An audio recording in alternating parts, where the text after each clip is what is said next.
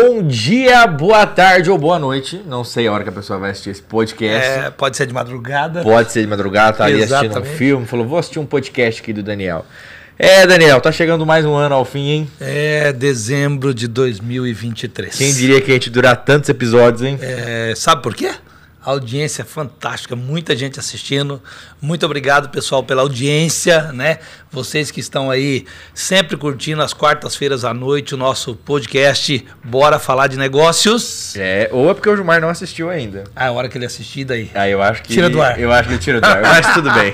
Vamos lá, Daniel, quem é o nosso, ou melhor, a nossa convidada de hoje? Ah, João, a nossa convidada de hoje é a empresária paranavaense, em homenagem ao Outubro Rosa, mas em dezembro, em dezembro, dois meses atrasado, nós trouxemos aqui uma grande empresária da cidade de Paranavaí, a Márcia Steiner Rako- Rakoski, tá?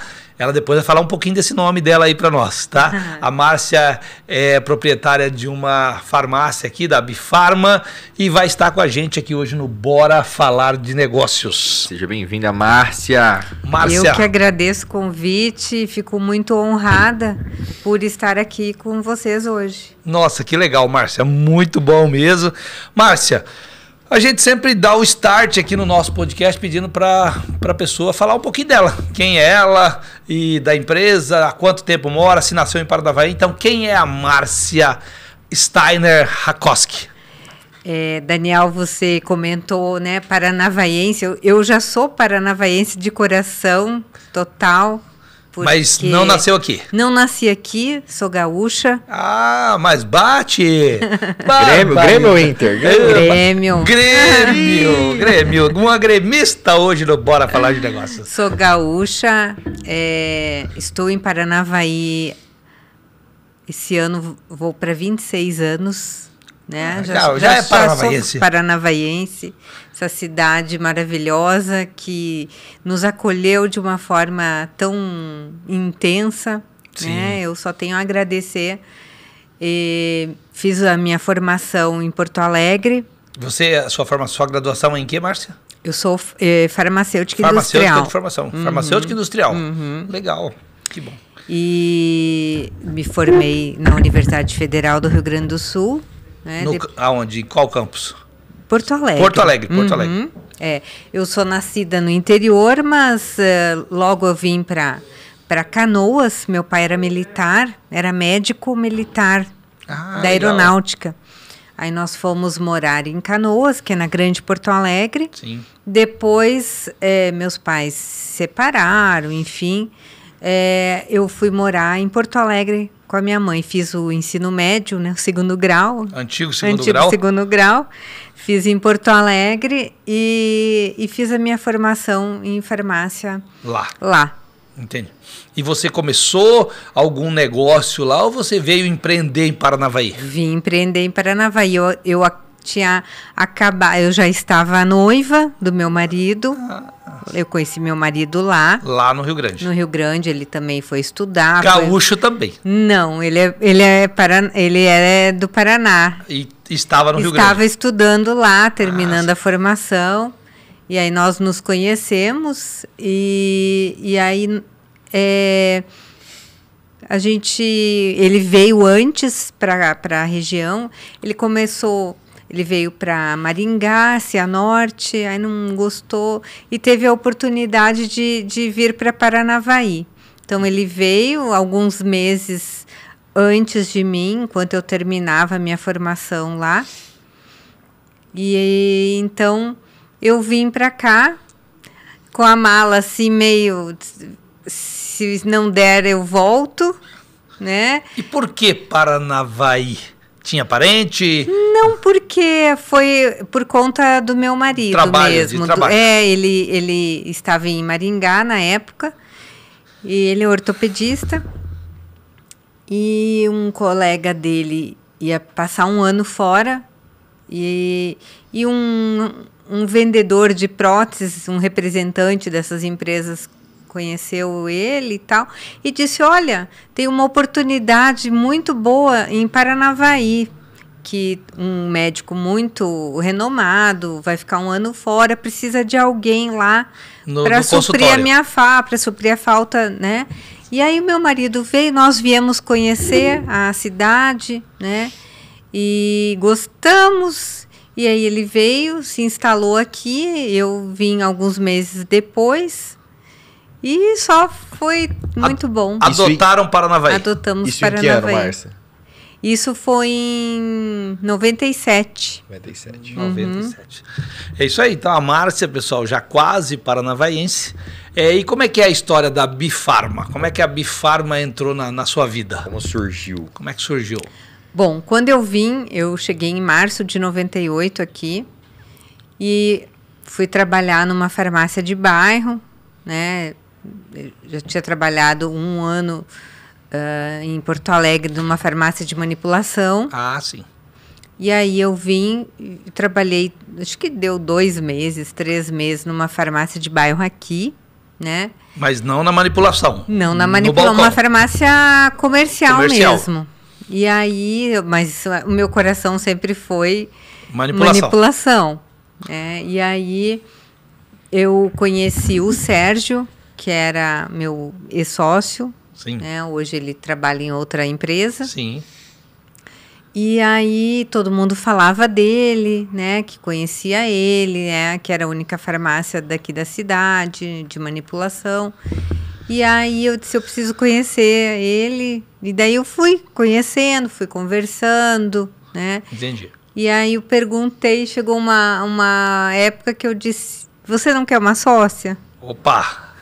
A vontade de empreender já estava ali no, no, no sangue. Você não quer, ser, não quer uma sócia? Aí ele pensou, depois de alguns dias ele conversou e falou que aceitava a minha proposta. Ah, entendi. Então, antes Entendeu? da Bifarma, você já foi sócia de uma outra farmácia. Depois que veio a Bifarma. Ou era a não, Bifarma? era a Bifarma. Ah, já era a a Bifarma. Já era a Ah, Bifarma. Então vocês foram sócios na Bifarma. Bifarma. Ah, entendi. Aí nós ficamos, ah, acho que uns. Não chegou a três anos, eu acho, de sociedade.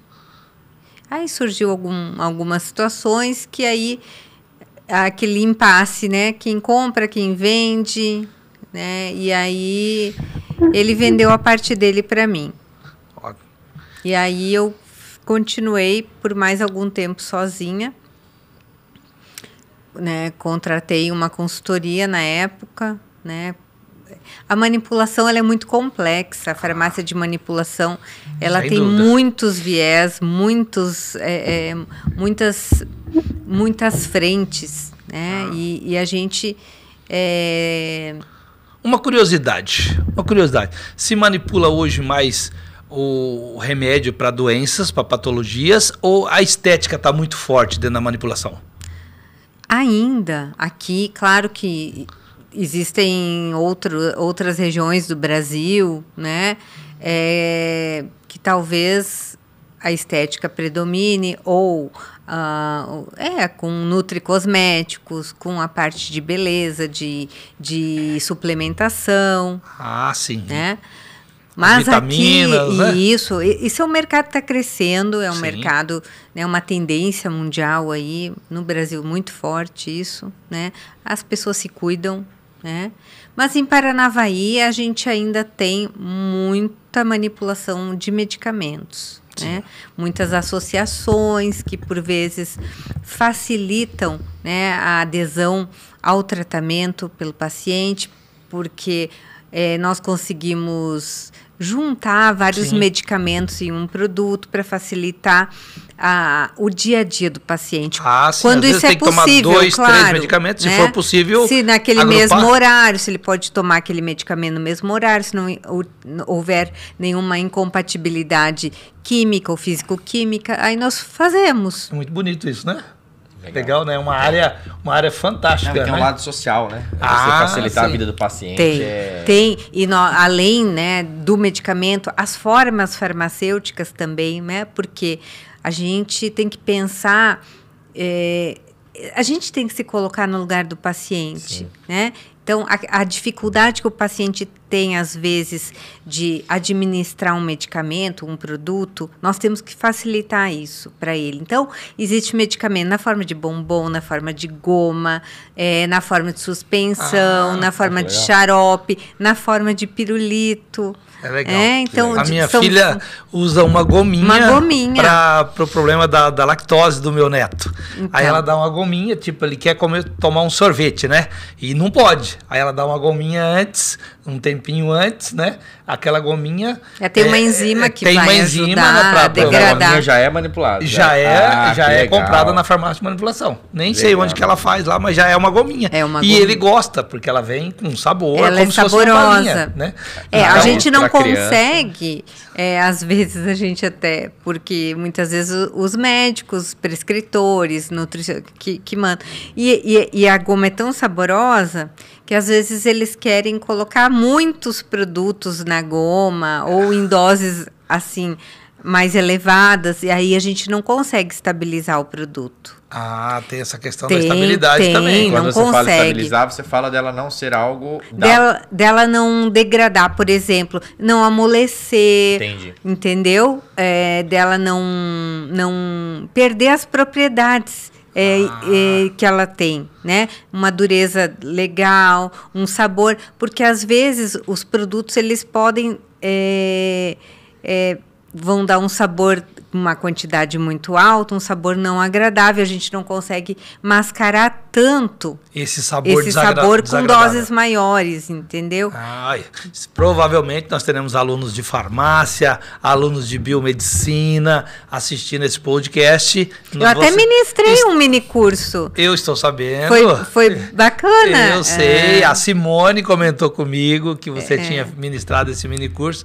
E é muito legal isso, né? Essa interação, você voltar para universidade e ter essa oportunidade de falar com o aluno, né? O pessoal Sim. que vai estar. aproveitando esse, esse momento, Márcia, que a gente está falando aqui, a gente fala muito aqui sobre empreender, né? Esse é o, o motivo tema. final, é, Uhum. o motivo do nosso podcast. Como é que você vê empreender no Brasil? Tá? A, gente, a gente vem ver muitos empresários às vezes falam: ah, é muito difícil, aqui tem que ser um super-herói, ah, não é fácil, dá vontade de parar com tudo. Como é que você vê empreender e como é que você vê empreender no Brasil? Qual- como que a Márcia vê isso? Bom, para começar, eh, eu acho que tem que ter o perfil, né? A pessoa tem que ter o perfil, né, para empreender. É, tem pessoas que não têm perfil para empreender, né? Sim, Então acredito que tenha que ter esse perfil. isso é importante, né? já tem que estar no DNA da gente. E eu vejo que empreender é, é muito bom, né? É muito bom.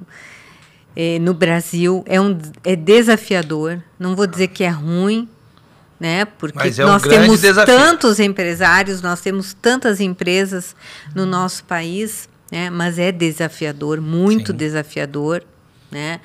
É porque nós temos muitas situações difíceis, né? O governo muitas Carga vezes tributária, impõe um- encargos trabalhistas, né? Muito pesados. é, toda uma legislação, Uma legislação muito, muito, muito fechada. fechada, né? Isso uma mesmo. legislação. Por exemplo, eu respondo na empresa por três órgãos: Vigilância Sanitária, Conselho Regional de Farmácia, Conselho Federal de Farmácia e MAPA, que eu sou, sou a farmácia que tenho a liberação do MAPA para manipular produtos veterinários. Eu tenho um Ah. laboratório é, que eu faço formulações veterinárias para animais de pequeno porte, né? Então, Ah, medicamentos para gato, cachorro, né?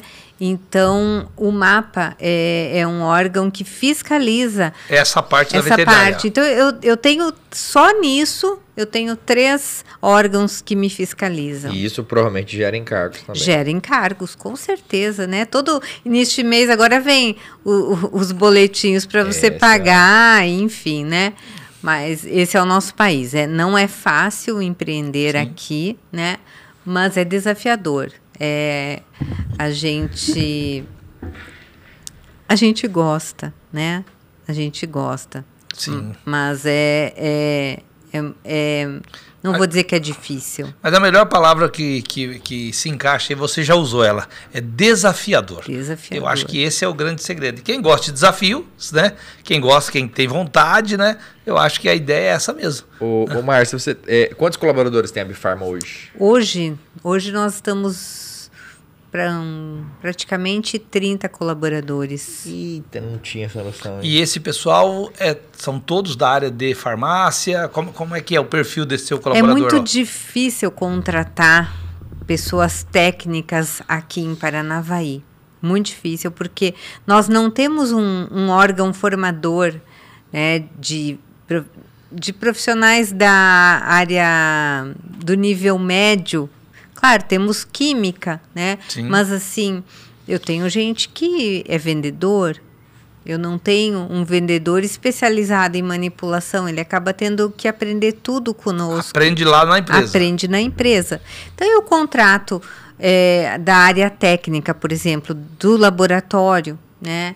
É, eu contrato pessoas que querem trabalhar, que têm um perfil, mas é tudo formado lá pela gente. Não legal. tem uma empresa que forme um- um- uma pessoa. E é difícil vir de outro local, né? Quando vem, às vezes, a gente consegue aproveitar, né? Às Entendi. vezes vem de fora, a gente consegue aproveitar. Dá Mas, trabalho, né? Mas tem a vantagem que você ade- adequa ao forma perfil. da maneira da empresa, Ah, né? Da é maneira muito- que a gente está acostumado, que a gente go- gosta, né? E, e que quer que o funcionário seja adequado à empresa. Você, você falou de moldar o colaborador ali muitas vezes. Qual o perfil do colaborador que você gosta de enxergar nele na hora de contratá-lo? Então, chegou alguém lá, mandou um currículo, o que, que, a o que, que brilha aos olhos da Marfa? Essa pessoa acho que, que vai dar certo. No currículo é difícil. É porque no currículo tudo é, é ótimo, No né? currículo é inglês muito fluente, E difícil. no, e- e no- e no olho a olho, a hora da entrevista. Aí a gente tem que lançar a mão de várias ferramentas aí, Ah. né? né? Mas no currículo é difícil. Aí você tem que dar, fazer uma pré-seleção do que você recebe, né? Vendo, assim, aquele. Vou, vou falar bem, bem assim, como nós fazemos, né? Sim. Aquele colaborador que não roda muito, né? Que permanece Entendi. mais tempo nas empresas, Sim, né? É, a gente procura ver essa situação, né? E, Mas e na entrevista, o que, que te encanta nele? O que, que você tem que entender que aquele colaborador possa ter para agregar com vocês? Eu aquele quero, co- é, aquele eu quero trabalhar, eu quero, eu quero trabalhar ou eu quero trabalhar, eu quero ajudar a sua empresa a crescer, É. né? A fala, muitos têm, né, Daniel? A fala, muitos têm, né? Mas a gente. É, é desafiador isso hoje. Essa entrevista, né? Muito. É né? verdade. Nós selecionamos várias pessoas e, e aí a gente tem alguns testes que a gente aplica, né? Entendi. Mas é, é, a gente consegue. Sim, claro, claro. Você está com 30, né? Então já tem um grupo bem treinado que trabalha com você e provavelmente você não tem assim muita rotatividade, né? Você consegue ter gente lá Eu com tenho, bastante. eu tenho colaboradores, eu tenho uma colaboradora que é farmacêutica, ela atua na produção, é minha gestora da produção. Ela está comigo há 22 anos. Olha que legal. A Bifarma tem quanto? 26? 30, e- a Bifarma já tem a 35. Ah, tá. eu, Você- estou, eu estou lá há 25. Ah, e a colaboradora está a 22. 22. Quase Legal. que a, que a legal. Que legal. Quem que é essa colaboradora? Fernanda Rissato. Fernanda Rissato, olha aí, Fernanda, você foi citada, porque 22 anos trabalhando na empresa é porque é uma colaboradora muito boa, de confiança, exemplar. Olha que legal, isso é muito bom mesmo, Você Márcia. não aguenta o Gilmar há 22 Eu já tenho anos. muitos netos lá, né? Já tem netos lá E na. ali são todos meus filhos, né? Aí eu falo, né? Eu já tenho muitos netos na empresa. Ô, Márcia, a Bifarma, como é que você trabalha a questão de marketing lá dentro? A gente vê que hoje, né, João? É muito comum, né, as pessoas usarem Instagram, Facebook, outras, outros tipos de, de propaganda nas redes sociais. A propaganda é, convencional de anos, que é o panfleto, uhum. o jornal, o rádio, a TV tal. Como é que você gerencia hoje essa questão do, do marketing da empresa? Está na mão da Márcia? Tem um colaborador específico que olha o seu, o seu Instagram, que alimenta ele? Sim. Como é que funciona hoje lá? Nós temos uma agência. Ah, né? você tem agência. Tem uma agência uh, que trabalha mais personalizada com a manipulação. Ah, isso é legal, João.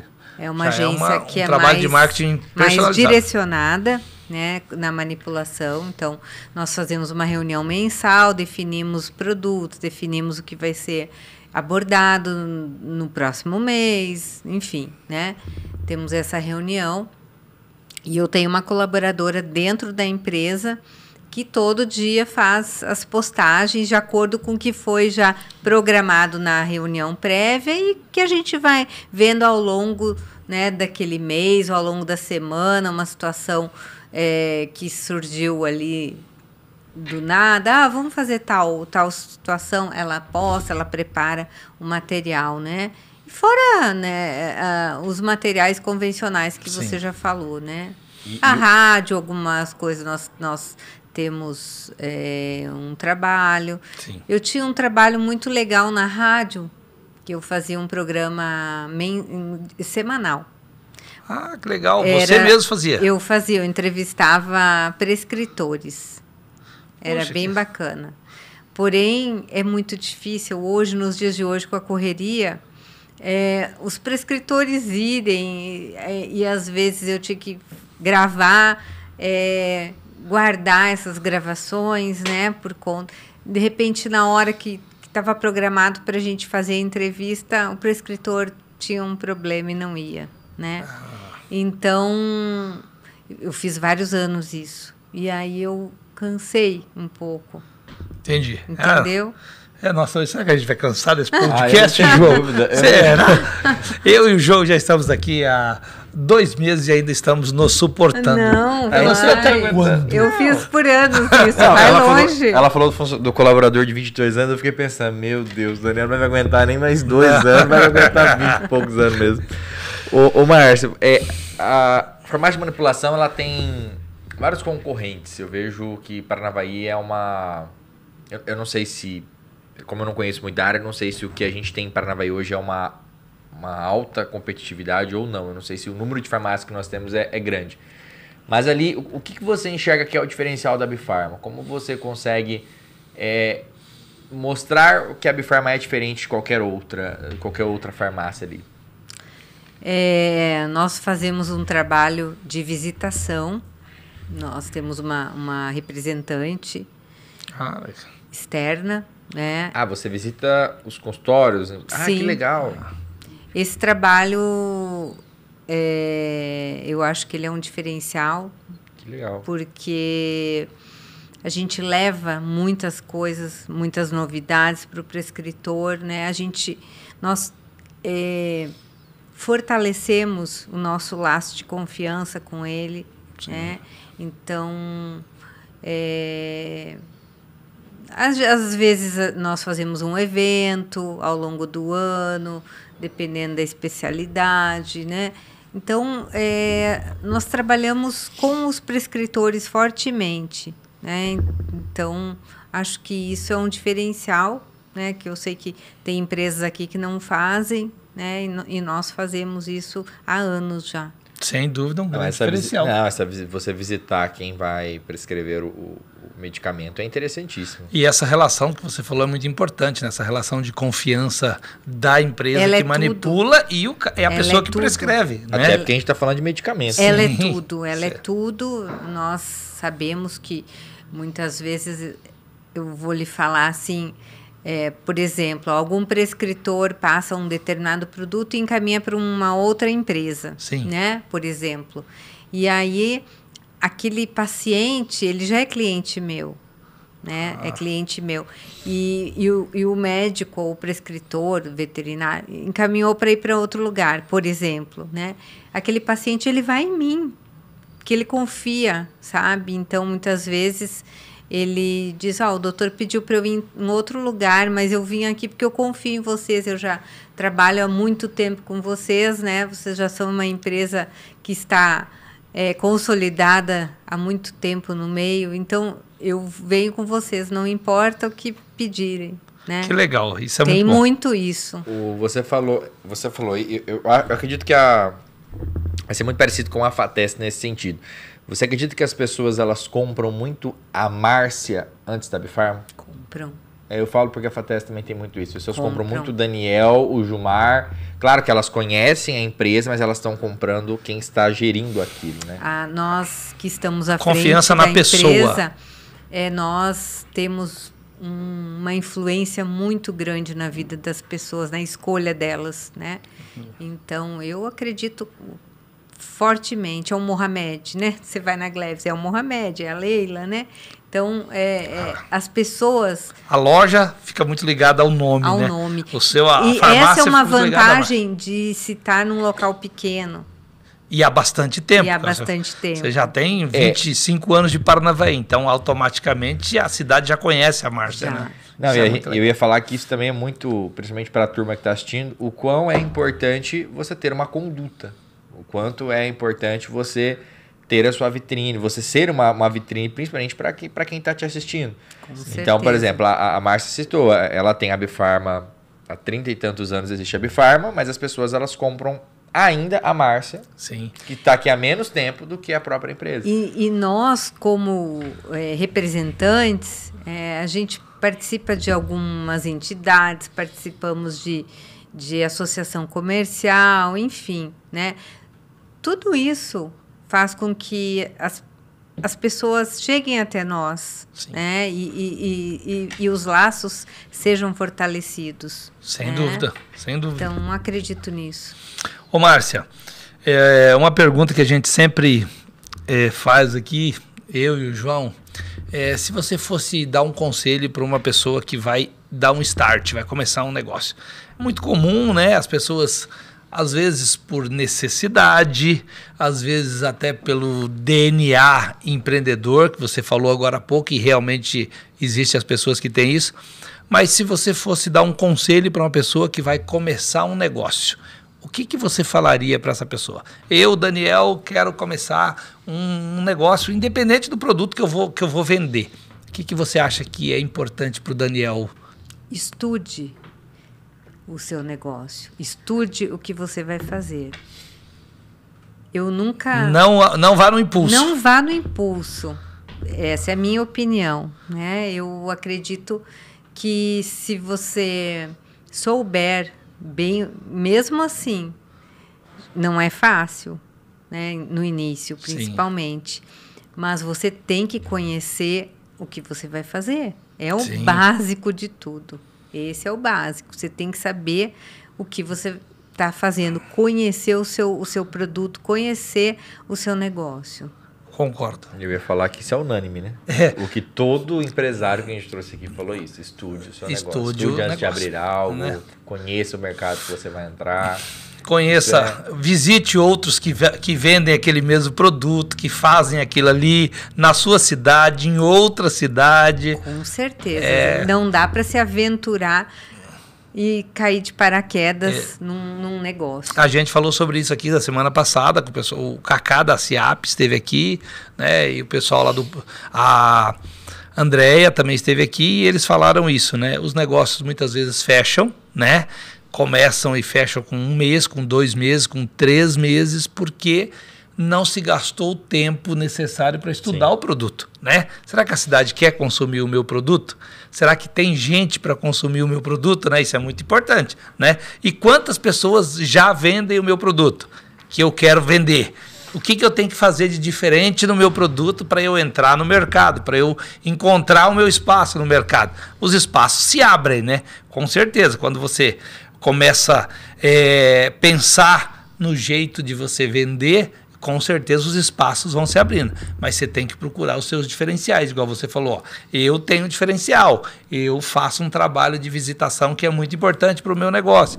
Então, para cada negócio, eu acho que o diferencial está aí. Sim. É, é, é, eu acho que é isso. Ô, ô Márcia, você que está. Eu vou fazer uma pergunta que nem está aqui no, a nossa lista, mas você que está no comércio há bastante tempo, a Bifarma ela fica, ela é muito bem localizada, ela é, ela é bem no centro ali. Como que você, qual que é a maior dificuldade que você enxerga pro comércio local? Se você tem essa visão, eu sei que não tem nada a ver com a sua área ali, mas eu falo pelo fato de você estar ali, porque a gente vê que muitos empresários do comércio cada vez se queixam um pouco mais sobre as dificuldades ali. A gente tem essa questão tributária que a gente já mencionou, mas você consegue enxergar algum gargalo ali no comércio? Você fala, eu acho que esse é um problema que tem no comércio de Paranavaí, ou, ou não? Você acha que... Eu acho que, por exemplo, quem está situado ali no, aqui no centro, né? É, estacionamento é uma situação, mas estacionamento é ruim em todos os lugares. Muito difícil você ir de uma cidade que não tem. Né? É, é ruim em todas. É. Só que eu, eu vejo que a população está mal acostumada. Ela quer parar na frente do lugar. Da sua loja. Da sua loja. Onde ele vai comprar. Né? A população precisa estar. precisa ser educada. Né? Então, claro que aqui em Paranavaí é, nós não temos um transporte público é, que facilite. Não temos, né? Não, não temos metrô, não temos um sistema é, de com ônibus qualidade, com né? qualidade, né? Que, que, que realmente tenha vários pontos, facilite a vida das pessoas, para que elas não utilizassem o seu próprio transporte todos os dias. Sim. Né? Então, eu acho que essa questão do transporte seria importante, né? da gente ter um transporte público de qualidade para que as pessoas e ciclovias eu acho que seria muito importante também para as pessoas terem o acesso aí é, de uma forma facilitada, né? Ah. Nós vamos ter um podcast aqui com o prefeito, eu vou falar isso para ele. É, pode deixar, a gente vai é, levar para ele. Mas Sim. isso que a, que a Márcia falou é legal, é, e principalmente para a turma que está pensando em abrir um negócio, pensar nas possibilidades sobre essa questão do funcionamento. Porque Sim, também isso localização. é... É, eu, eu, meu, meu antigo patrão, ele, ele falava muito isso. Ele falava assim, gente, ele falava para os colaboradores, não parem carro aqui na frente da loja. Não. Isso Você é pode parar um pouquinho. Sim. Olha essa cara. Eu achava muito legal a sacada dele. E, e, e, ele falava, falava assim: olha, você. Para um pouquinho longe. Não tem problema você andar, sei lá, 10, 15, 20 metros. Mas o cliente Pode ele não quer andar cliente. 20. É, o é? teu cliente ele não quer andar 20, 15 metros. Ele isso quer mesmo. parar, se ele puder parar ali. E, e, isso eu acho que, que é um diferencial, sim. Eu acho que também é uma. Esse sistema agora, né, de rodízio dos carros, eu acho que facilitou. Melhorou, sim. você Melhorou. Sim. Acho que melhorou. Eu também sou defensor, achei sou que ficou defensor, muito legal. Acho esse... que melhorou. Porque também não vai ser a facilidade do uso a pessoa, no ela app. tem 15 minutos, por exemplo, ela chega lá na empresa, ela tem 15 minutos para ou fazer o seu produto, ou deixar a sua receita, ou buscar o seu, o seu Sem produto. Sem precisar pagar o estacionamento. Sem precisar pagar o estacionamento. Então, e, e eu, vou, eu vou, vou complementar, só porque o nosso primeiro convidado, que foi o Mohamed, ele falou isso e, e, e olha como que casa, né? Ele falou assim que o, o cliente chegava na Gleves ele olhava, o cliente perguntava, onde você tá? Ah, meu carro tá ali na frente, mas tem que ser rapidinho, porque tá com. tá sem o Star. Ele ia lá, você lembra disso? Sim. Ele colocava o Star. Eu fiquei com isso na minha cabeça. Ele lá, colocava o Star na época do da outra empresa, do né? papelzinho. papelzinho, ele ia lá e colocava o papelzinho pro cliente poder ficar mais tempo na loja. Ele é demais. Não, ele olha é a visão dele. É um ele exemplo, é né? Não, é um olha exemplo. a visão dele. Eu falei, é um gente, exemplo. ele é anos luz à nossa frente. Mas... É verdade. Márcio, olha que legal, você vê como o tempo passa rápido. Passa. Nós estamos aqui já com 34 minutos de podcast. É muito bom é, quando o podcast flui assim, né? O, o, papo tá bem legal.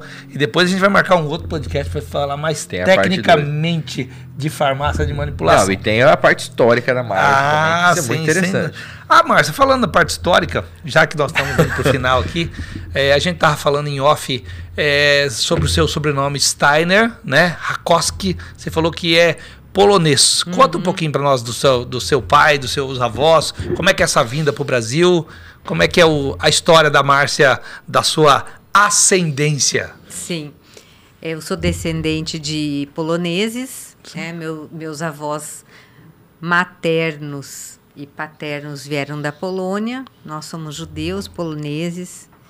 Meus avós, graças a Deus, vieram antes da ocupação é, dos campos de concentração, então vieram em 31. Sim. A minha outra avó veio antes um pouco, vieram de navio, claro, Sim. né? E se estabilizaram no Rio Grande, no Rio Grande do Sul, né? É, é toda aquela situação é, difícil para os imigrantes, porque é, falar a língua, toda a cultura, Sim. toda a situação é, peculiar de cada, de, de cada família. Né? Então, e eles começaram a fazer o que no Rio Grande? A agricultura? Não. O, o, meu, o meu avô materno, ele trabalhava com estofados. Ah, com sofás, sofás assim. Sofás, estofava é, sofás, cadeiras. Ah, que legal. Né? E aí ele começou a trabalhar começou com isso no Rio Grande. Começou a trabalhar com isso no Rio Grande. E o meu avô paterno, e duro, eles falavam polonês, eles não falavam mais nada, né? Ele, ele vendia coisas e começou a vender tipo bilhete de loteria, ia de porta em porta, na, na a gente fala na zona, né? Na, na, na região ali, no bairro. Próximo. É. Então foi assim que, que a família, meu, o meu avô paterno tiveram três filhos, Sim. né? Meu pai era o mais novo, né? Você foram... conheceu os avós? Chegou eles? Sim, conheci, viu? conheci. E eles ainda todos os três filhos se formaram, né? Que legal. Meu o, um tio não, dois dois formaram, um não quis não, não estudou. estudar. E foi o que foi mais empreendedor nato. Ele tinha uma metalúrgica, uma loja imensa de móveis. Que legal. Foi o que mais deu certo, assim. Você estava comentando que seu pai é médico. Meu pai era médico. Era médico lá no uhum. Rio Grande e foi militar também. Foi militar também. Que legal essa essa história, né? Essa, essa nossa ascendência, né? De onde vieram, isso é muito legal. A gente é, é, é o nosso. É, é, a, é, está enraizado na gente. Então é muito legal a Márcia falar um pouquinho o, disso. O perfil, né? Por exemplo, meu pai era um cara muito assim correto, né? Muito. Sim. Eu tenho muitas coisas do meu pai, assim, de ser uma pessoa é, ouvinte, mais proativa, é, mas é, extremamente correto com as coisas. Né? E ah. eu sou assim, muito quero as coisas muito corretas. Que legal. Ô, Márcia, e eu vi eu, o Rakoski é do seu esposo? É do meu esposo. Ele também é de, de ascendência? Ele, é, ele, ele, é, ele é descendente de alemães e poloneses. Ah. O lado da família, o avô veio da Alemanha, tanto Sim. que eu tenho cidadania polonesa Sim. e ele tem cidadania alemã. Ai, que legal. Então vocês transitam na Europa tranquilamente. Dá para transitar. Eu falar isso agora, não tem dificuldade para. Não, não, não. Transitam lá. E você fala um pouquinho de polonês? Falo nada. Nada. Na verdade, os meus avós, eles falavam em Yiddish, que é um idioma, é, é um dialeto. Dentro da Polônia. Dentro da Polônia. É um dialeto que os judeus usam muito. Ah, então sim. a gente falava algumas palavras em Yiddish, mas eles falavam para se comunicar para a gente não saber o que eles estavam falando, sabe? Ah, entendi. Entendeu? Entendi. Então a gente praticamente não aprendeu. Uma ah, pena, né? Ah, é, é, uma pena, porque é, é, normal isso. A minha esposa, a avó dela era espanhola e vieram para o Brasil e eles tinham medo. É, parece que eles não estavam, eu não lembro ainda a história direito, mas não eram legais no Brasil quando chegaram, não, talvez na mesma época dos seus avós. E elas, eles não queriam falar o espanhol para as pessoas não saberem que eles tinham vindo da Espanha. Sim. Então não passaram o espanhol para os filhos. Aí a avó dela espanhola falava, né? Mas não passou. A minha sogra, por exemplo, que é filha, né? Não sabe. Mas não fala, não sabe algumas palavras lá, mas não foi passado esse essa língua, é porque é uma eles tinham pena. eles, eles eles queriam muito mais praticar o português e aprender o português, né? aí não é, passaram para os é, filhos isso aí. Era o que acontecia, né? Eles é. tinham que eles tinham que aprender a língua, né? Sim. E lá no Rio Grande é um negócio muito interessante, né, Márcia? Porque ali foi muita gente que veio, vieram italianos, vieram alemães, que é muito forte, né? É, japonês Os, já é menos. É, lá o, o, o japonês está muito aqui no Paraná. Isso. Aqui é muito forte, o interior de São Paulo é muito lá, forte. Lá nós temos né? né? as colônias grandes de italianos, alemães, alemães né? poloneses, Sim. né? E, e, são as, as mais fortes lá. Legal, legal. Polônia é um país que eu não conheço, hein? Eu Tenho também. muita vontade Nós de ir. vamos para lá, eu acredito que o ano que vem. Tenho vontade de ir ali para aquele leste da Europa ali. Eu já fui para outra parte, para aquele lugar Pena ali. que ainda a agora, Polônia, né, com, a, Alemanha. com a Ucrânia, essas guerras Sim, ainda. tá um né, pouco tenso, né, É. pra, pra se ir pra lá. Eu garanto que se você for com a Márcia, você vai passar fácil lá. Não, eu vou, Você ela é cidadã.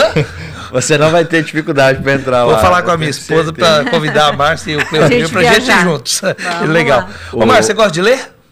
Gosto. Tem hábito de ler? O que, que você leu por último? Que último livro você lembra que você leu assim?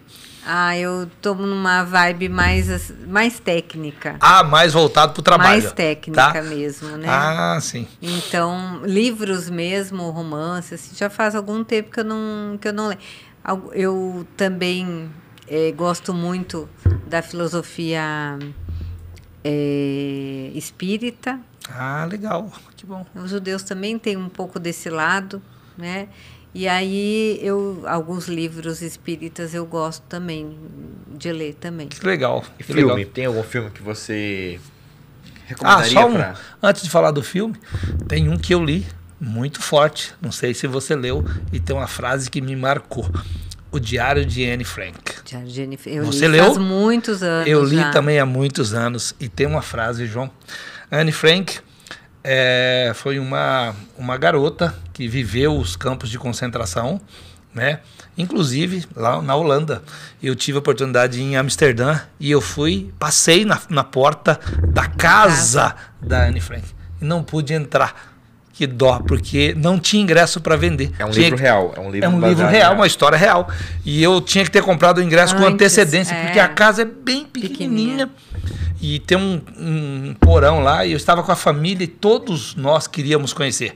Eu, os meus filhos, a minha filha, a minha esposa. E a gente não se atentou para esse detalhe, perdeu. Mas passamos na porta da casa. E tem uma frase muito forte que está no final do livro e ela fala assim, ela viveu o terror né, dos campos de concentração e ela fala na frase assim, apesar de tudo, ainda acredito na bondade humana. Né? Ela ela viveu? E olha o campo ela de concentração e no final do livro ela fala, apesar de tudo, ainda acredito na bondade humana. Forte, né? Muito forte mesmo. Mas legal, Márcio. Fala do filme que você ia perguntar aí. Um filme que você recomendaria pra, pra turma? Olha, um filme que eu vi muitas vezes, que eu um grito de liberdade. um bom. grito de liberdade. Já assistiu? Já assisti. Já assisti. Muitas vezes, é, é muito bacana, assim. Eu sou, sou muito mais do filme do que do livro. Eu não sou um grande leitor. A minha esposa, leitora de cabeceira. Sempre tem um livro na cabeceira dela. É, meus filhos, graças a Deus, herdaram esse lado da mãe, né? Leem mais que eu. Eu, sei, eu sou leitor de livro técnico. Técnico, eu, eu eu leio livro de matemática, Eu eu, também. estudo aquilo que, né? Agora estou estudando bastante, estou lendo bastante, porque estou fazendo doutorado e precisa todo mês estar lendo alguma coisa, alguma coisa nova, mas leio muito artigo científico, né? Mas não sou leitor de romance, Uhum. não sou. Mas eu vou te dar uma dica. Li muito na época de escola, porque tinha que ler, né, para para Vou te dar uma dica pra você ler mais. Ou melhor, não precisa ler, tem audiobook, cara. Audiobook. O meu marido usa É uma muito frase. a O audiobook. Guilherme, um amigo meu, Guilherme, falou assim: João, o livro que você tá lendo aí faz dois, três meses eu já ouvi. E ele ainda ouve duas vezes, que é mais rápido ainda. Eu falo, gente do céu, cara, o audiobook salva vidas. Eu escuto um pouco o audiobook para estudar inglês. Aí eu escuto, escuto livros em inglês. aí E você aí, é meu marido também faz É, isso. porque aí é legal, porque aí eu pratico inglês e. Né, mas eu pego bem curtinhos, textos bem curtinhos aí. Ô, ô Márcio, pra gente encerrar, Estamos fechando, ó. é, nosso tempo tá estourando. Eu tenho uma pergunta, Daniel tem Já outra ali. estourou. Falei que eu falo muito, Não, né? na verdade, a, a- a Não, conversa. foi muito A gente fica gostoso. feliz quando, quando passa, porque significa que a gente tá. A conversa tá fluindo, enfim. É, uma, uma curiosidade, qual. Qual fala, você- qual frase ou o que você mais fala para seus colaboradores? Quando você tem essas reuniões, uma reunião mensal, uma reunião semestral com eles, o que, que você fala normalmente para os colaboradores? Eu falo que em tudo que nós fazemos a gente tem que colocar amor. Em tudo. E se colocar no lugar das pessoas. Empatia. Então, é, isso é toda a minha fala, toda a minha, eu sempre falo, façam sempre com amor e deem sempre o seu melhor. Legal, isso é importante. Importante. Quando o nosso colaborador, quando o funcionário, quando ele atende o cliente com empatia e com amor, igual você falou, dificilmente, Márcio, esse cliente não vai voltar na sua empresa. Se ele sentir isso, João, Sim. tá? Não importa qual é o produto, se é o, o, remédio manipulado, se é uma roupa numa loja, né? Quando o vendedor te atende com carinho, tá? Te olha diferente no seu olho e sabe, se coloca no lugar da outra pessoa. Às vezes é uma pessoa simples, né? Deve ter muito lá na farmácia. A pessoa Sim. chega com uma, uma receita ali, alguma coisa, uma pessoa simples, nem sabe direito como é que funciona o processo. Mas se ela sentir esse aconchego, acolhimento, acolhimento a pessoa não deixa de voltar. Isso e, é muito E eu legal. falo isso também no laboratório, porque façam o seu produto, né? Claro, existem toda a técnica, Sim. todo o preparo, mas coloquem amor no que vocês estão fazendo. Levem Sim. amor a, ao, ao paciente, ao cliente que vai usar esse produto. Sim. Sabe? E mais uma vez, só para você fazer a sua última pergunta, mais uma vez eu, eu reforço. O consumidor ele não compra mais bens e serviços ou produto. Ele compra histórias, encantamento, experiência. Então hoje é, é vender é muito mais encantar o cliente, igual vocês falaram, colocar amor no, no fazer Sim. aquilo ter a empatia de se colocar no lugar do outro do que só vender um produto. Se você só vender um produto, provavelmente você vai ser só mais uma empresa. Então, Márcia, contigo. Para a gente encerrar, antes de você se despedir, é, a gente tem uma, uma pergunta final que eu sempre faço para as pessoas, porque a gente está aqui por um período, né, Márcia? Alguns privilegiados, igual você falou agora há pouco aí de uma, uma tia avó aí que já está aos centenária, né? Alguns chegam aqui aos 100, aos 80, alguns privilegiados aí vivem muito, mas a gente vai embora. A gente vai, né? Nós vamos passar. É a única certeza que Essa a gente é a tem. certeza. Nós vamos passar dessa dessa vida. E eu sempre é, a gente tem que ter muito esse cuidado, né? Com o que a gente vai deixar, né? Você falou sobre a sua história, você, né? A gente pensa nisso. Então a minha pergunta final é: o que, que a Márcia gostaria? Qual que é o epitáfio da Márcia? O que, que ela gostaria que estivesse escrito na lápide quando foi embora? Ninguém gosta muito de falar disso, né? Não, mas não a gente vai embora. Isso, mas a gente vai embora, né? Então, o que, que você deixaria de epitáfio quando o seu filho, neto, bisneto, sobrinho passasse ali e falasse: Ah, quem, quem, quem passou por aqui? Difícil, porque Difícil, né? chegar assim, né? Mas eu vou resumir isso de uma forma prática, e que eu já falei aqui, né? Tudo que fiz foi, foi é, por amor. Tudo que fiz foi por amor, por carinho. Então, eu acho que isso eu, resume, eu te, né? Eu tenho um filho só, né? Um filho só, que é um, um, um menino maravilhoso. E, e, Está em Paranavaí? Que bom, tá em Paranavaí, está tá fazendo engenharia de software. Que legal. E eu procuro passar isso para ele, né? Todas os, as, é, é bom porque a gente pode ensinar aos filhos, né? Sim. Claro Sem que dúvida. eles têm a percepção deles, enfim. Mas a gente tenta ensinar, né, como Sim. empresário, como gestor, como né, a, a, o caminho para ele percorrer, né, de uma forma que ele não, não que ele não caia tanto, Sim. ou que, que a queda seja menos dolorida. Né? Sem dúvida. Sem dúvida. Então a gente procura orientar, né? E, e eu, eu falo assim, tudo que se faz na vida, eu pelo menos eu faço com amor, com vontade, com carinho, sabe? Porque é, não adianta estar aqui e fazer as coisas é, sem vontade. Então, passou por aqui uma pessoa que fez tudo com muito amor. Viu que legal, João? Exato. Pra gente fechar? É isso aí. Agradeço aí, João. Márcia, muito obrigado. É, obrigado pelo seu tempo. A gente sabe que fim de ano não é fácil, principalmente para quem está ali no comércio, para as farmácias, enfim, para as empresas, principalmente ligadas à saúde.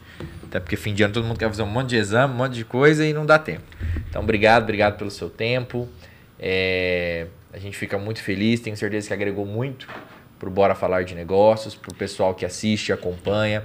Eu acho que você falou muita coisa ali que a galera vai conseguir tirar bastante coisa, fora que tem o lado humano e a gente gosta muito disso. É igual o Daniel fala, às vezes passa o tempo, mas não é que passa o tempo, é que a gente gosta muito da história. É, eu acho que esse é um problema da nossa dupla. É que a gente gosta muito da história de quem está do outro lado. A gente, a gente é apaixonado por, é que a gente por pessoas, é... por, por ouvir histórias. O Daniel falou ali da questão da, da árvore ali, é, da, da, sua família, enfim. Então, é, obrigado, obrigado mesmo. Vamos fazer um parte 2, falando Sim. sobre essa parte da, da farmácia. Sim, legal. Isso é muito bacana, principalmente para os nossos alunos, tanto do EAD, tanto presencial. É, e é isso aí, Daniel. Isso aí. Obrigado, Márcia. Eu Obrigado. que agradeço o convite, fico muito lisonjeada por estar aqui, por poder, assim, falar um pouquinho da minha história.